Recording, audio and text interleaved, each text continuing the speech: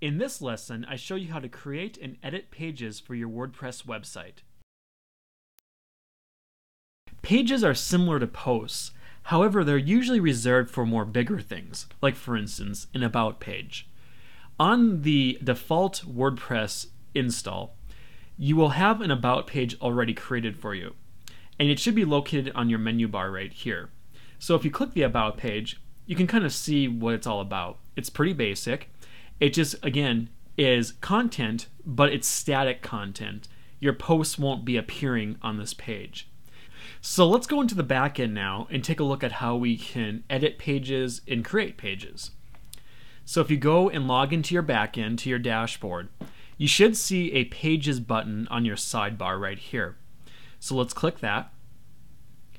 And now you'll have a list of your current pages that are available. As I said, you have the About page, which um, is default to the WordPress um, install. But you can go ahead and delete that if you want, or you can edit it, whatever you want to do, just like you could your posts.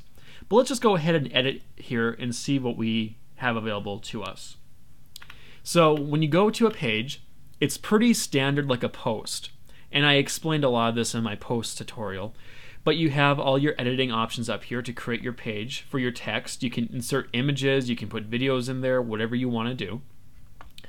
On the side here, you have attributes that you can do. For instance, you can have subpages, just like you can have subcategories.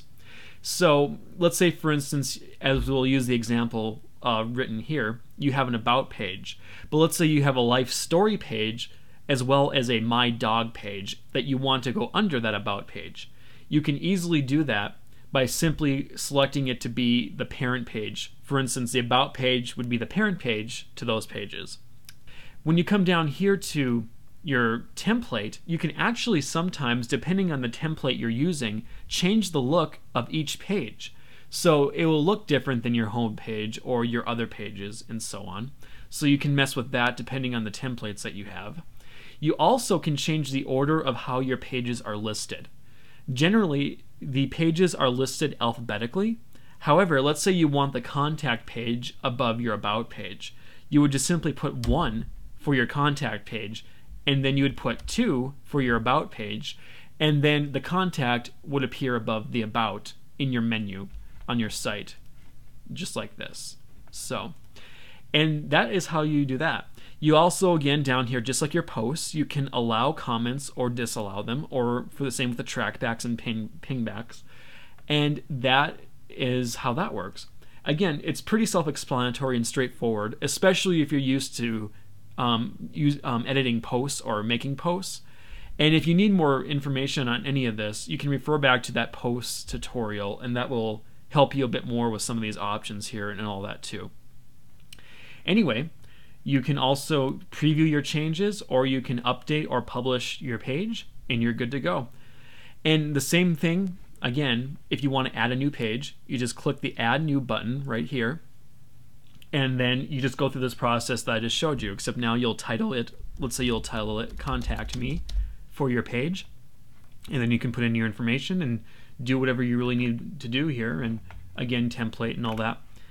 And we can Again, we could put this parent as the about if we really wanted to, but we'll just keep it as the main page. And we'll publish it. And I know I don't have any content in there right now, but just to show you this, when we go back to our website and we hit refresh, we have the contact me page now on the list. And there you go. It's pretty straightforward and it's pretty easy to do actually. And pages are really important if you have content that's important that you really just want to stay static and you want to get out there. Anyway, I have more tutorials coming up, so stay tuned.